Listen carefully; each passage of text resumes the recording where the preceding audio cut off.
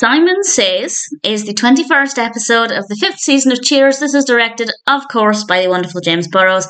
And as always, there will be spoilers from now as I go through the episode chronologically and share some thoughts. In general, it's a brilliant episode, but it's not perfect. It got a little bit repetitive at one point. I feel like there's one scene in this that just didn't need to be there. I don't know what I would would have wanted to have seen in its place, but aside from that, it is pretty brilliant, and I will mention that scene when we get there. Starts off quite delightfully and a little atypically because Norm is leaving Cheers, which in itself is unusual, but he's actually going to a health club because Vera got him it as a as a gift or a subtle hint, and maybe not so subtle. Nice way to start things off. And then we kick off with the main narrative, and Frasier comes in waiting for his friend Dr. Finch Royce. Diane immediately recognizes the name. She's rather excited. And then in he comes. He's played by John Cleese. And he greets Frasier by singing Three Little Maids from School Are We. Frasier echoes this. And it's, it's a delightful way to introduce the character. Carla flirts with him a little bit. Frasier introduces him to everybody. Everybody's there. And everybody seems to hound around him. Even Cliff is, is trying to have his attention. Diane asks for a session or two with him, and he agrees. And Frasier actually says, "I'll I'll give you that as a wedding gift. I will pay for it as a wedding gift," which I thought was really thoughtful. It's a pretty substantial gift for Frasier to give Sam and Diane considering what Diane had previously done to Frasier at their own wedding. So Frasier, in that moment, seemed like a pretty decent person, as he often does, of course. Norm then calls over Cliff in a rather delightful way by saying, Cliffy, Cliff, that's a gentleman over here who thinks you know absolutely nothing about photosynthesis. And of course, Cliff cannot bear to accept that, so off he goes, and then that leaves Simon or Dr. Finch Royce to go and give Diane and Sam their their session in Sam's office. And we have a brilliant quote that I love. And he says, It's only from our failures that we gain knowledge, which I love. That's not 100% true. There are other ways of gaining knowledge, but I really did like the sentiment there. And he asks them to share their, their stories. Diane goes back to the womb. Sam goes back to his baseball days. He then presents them with some scenarios. And I just want to make it clear that I don't care how renowned he is, how experienced he is. I don't think it is possible to determine whether two people should or shouldn't get married based on two questions. And he asks them what they do in these scenarios. One involves Sam ogling somebody in a bikini and whether he'd tell Diane his thoughts. And the other involves Diane finding that Sam is not very satisfactory in bed on their wedding night and whether or not she'd tell Sam that. And I, I loved Sam's response when Simon said, and Sam has not performed to your satisfaction, because obviously Sam could not even comprehend that. And Simon comes to the conclusion that, and I quote, you two should not only not get married, you should never see each other again. Diane's face pretty much said it all at that point, and she was so outraged that once he'd left, she referred to him as a sack of fish and chips. He's English, so I found that to be an absolutely brilliant insult. And then Diane thinks it's a test. He said those things to see how they, as a couple, would survive if somebody tells them they're not meant to be together. I didn't necessarily think that that was the case. But if that made Diane feel better and she'd left it at that, that could have been fine. But she's not happy with that. So she actually turns up at his hotel.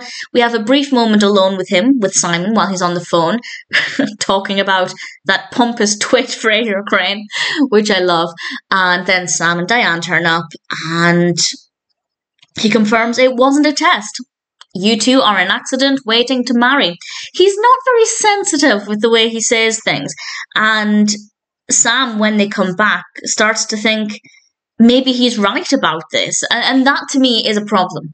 Because as soon as Sam starts to accept what somebody else is saying, that's planting a seed of doubt. And I don't like that. And this is really the first time since the proposal, well, since the last proposal, the most recent proposal, where we see Sam even slightly thinking that this isn't a good idea, and it makes me feel uneasy, makes me feel uncomfortable. I don't remember how I felt about this episode the first time I watched it, but watching it now when I know what happens going forward, I think it's probably a different experience. And while I think this is a, a generally a well done episode, I will talk about a, an aspect I didn't care for in a moment. But even with that in mind, even though I think it's a, a good episode, I don't like it because of how it makes me feel. And I don't like how it's making Diane feel either because she's really, really concerned about this. Is she thinking too much about somebody else's opinions? Yes, but it is somebody she re- she respects, and she thinks up until this point, at least, she thought that he was somebody whose opinion actually mattered, and certainly mattered to her, and that's causing her problems.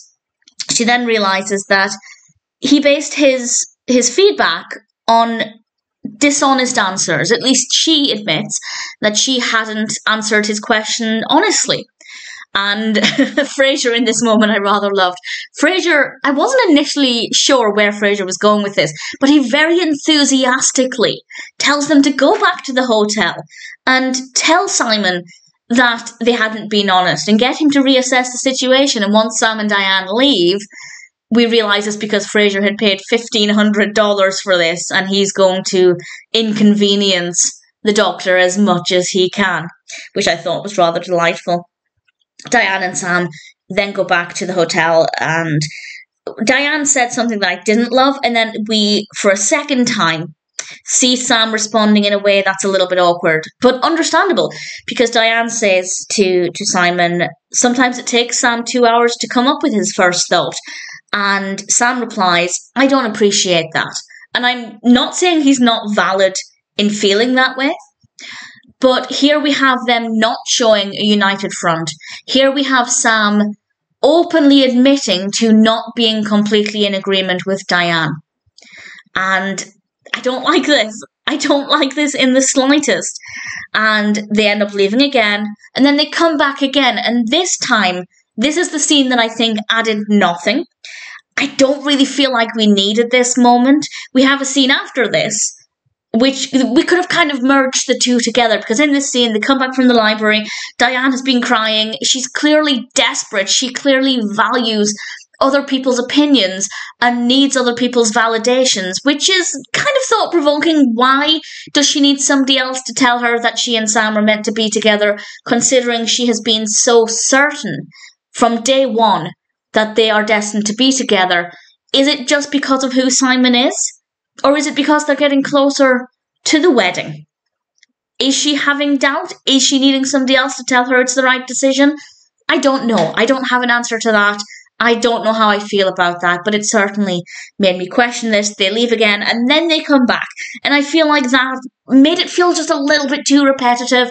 By the fourth time, the knock on the door stopped being funny. And I feel like either we needed something else in place of the previous visit, or they should have just merged them together because there wasn't really any time passing between them.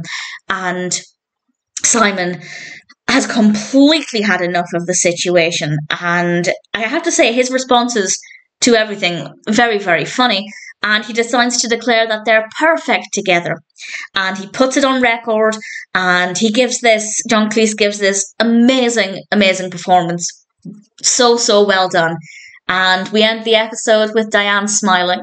And all she says to Sam is, See, she got the validation. She got what she wanted. And that in itself is a huge concern that she wouldn't let this rest until Simon said that they were destined to be married and destined to live a long, happy life together. And as I said, I'm not 100% sure if I believe that that's just because of how highly she regards Simon, or if it's because they're getting closer to the wedding day.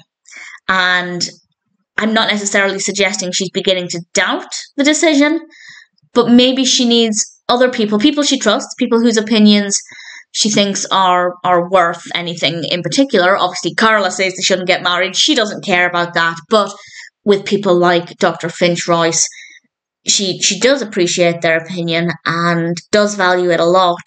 So mm. maybe she is needing other people, people she would deem to be peers.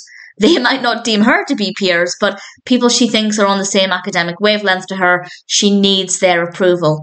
And again, I don't love it. I, I, I'm not a fan of how this episode makes me feel. That's not because it's a badly done episode. It absolutely isn't, apart from that one scene that I feel was unnecessary. But it's because I don't like how it's making me feel about Sam and Diane. It's, I don't like how it's making me feel about how they're behaving as a unit and how they're behaving independently of each other. And I, I don't like it. So it, it's a difficult one to assess because, on the one hand, generally a very well done episode with some really great moments. Frasier was absolutely fantastic. But at the same time, as a fan of Sam and Diane, it's uncomfortable. But that being said, it's still pretty great. Simon Says obviously still has some pretty brilliant moments.